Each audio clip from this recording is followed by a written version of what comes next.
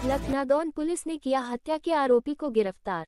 मध्य प्रदेश के सिवनी ज़िले के पुलिस अधीक्षक सुनील मेहता के निर्देशन में अतिरिक्त पुलिस अधीक्षक G D Sharma, SDOP Apurv Bhalavi के मार्गदर्शन में लखनादौन पुलिस द्वारा हत्या का खुलासा कर आरोपी को गिरफ़्तार करने में सफलता प्राप्त की है। बताया गया कि गत 9 सितंबर लखनादौन थाना अंतर्गत ग्राम जोगी गुफा के पहाई के जंगल की झाड़ियों में रूपलाल पिता खोवाराम टेकाम उम्र अट्ठाईस साल निवासी जोगी गुफा का शव संदिग्ध अवस्था में मिला था। मृतक के गले में गमछे का फंदा लगा होकर झाड़ियों में बंधा हुआ था। मृतक के पीएम रिपोर्ट में अंदुरनी चोटों से मृत्यु होना बताया गया। जाँच पर अपराध पंजीबद्ध कर विवेचना में लिया गया। वरिष्ठ अधिकारियों के निर्देशन में दो टीमों का गठन किया गया।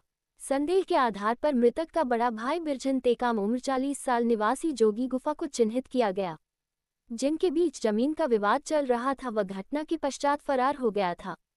जिसे नागपुर से गिरफ़्तार कर पूछताछ करने पर भाई से पैतृक ज़मीन के मनपसंद हिस्से व ज़मीन खरीदने के पैसे वापस नहीं देने पर विवाद होने पर पेट व छाती में पत्थरों से मारकर हत्या करना व स्वयं के गमछे से मृतक के गले में बांधकर झाड़ियों में बांधना स्वीकार किया।